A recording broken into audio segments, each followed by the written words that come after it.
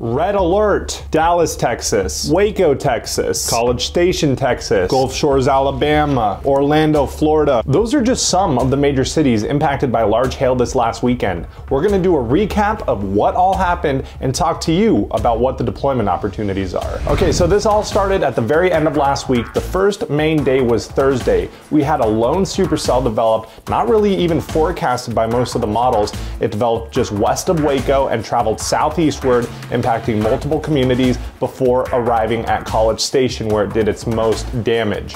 We can see a photo here of near tennis ball size hail taken from the downtown area in College Station. Are there deployment opportunities with this one?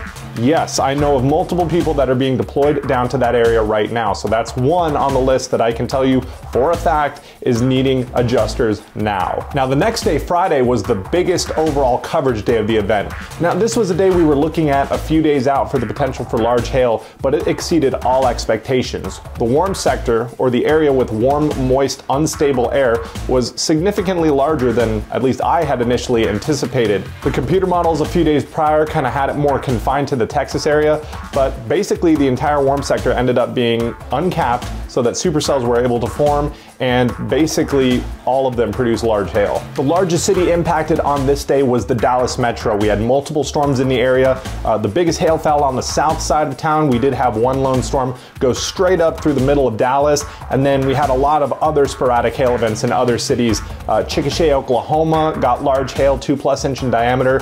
Gulf Shores, Alabama, now get this. This storm developed in the Gulf of Mexico and tracked northeast and then basically died right after it hit shore. But right as it hit shore, Gulf Shores, Alabama area, Orange Beach had four inch in diameter hailstones.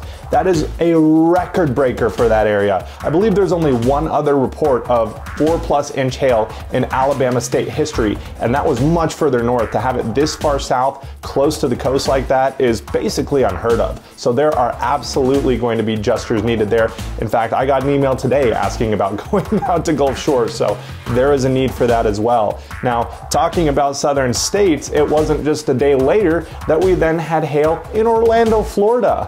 The theme of this weekend was hail, I guess, just in unprecedented places because that uh, that usually doesn't happen. I mean, they get hail down there every now and then, but usually we're talking, you know, maybe quarter size. I think maybe golf ball has happened a few times, but usually you're not seeing two plus inch stones down that far south in Florida. It's pretty rare. So are there deployment opportunities? Yes, absolutely. If you are trying to get deployed on hail, which by the way is the moneymaker, everybody talks about hurricanes, but those aren't guaranteed. Hail is guaranteed and it's happening now. And it's still early. We still have a lot of season left. So now's the time to get on it. If you're thinking about, you know, getting trained to become an IA, if you haven't done it now, it's, you know, it's almost too late. You have a little bit of time uh, to get that last minute training in before these hailstorms just start rolling in. But um, currently right now, we're gonna see a little bit of a lull in the severe weather, uh, maybe some lower end sporadic events, but it looks like towards the end of April, beginning of May, we're gonna start heating back up again. So anyways, guys, this has been a red alert update. I'm Max Olson, you're watching Adjuster TV, and we will have a full recap of all the storms of April at the news segment at the end of the month. Thanks for watching, everybody, and stay safe.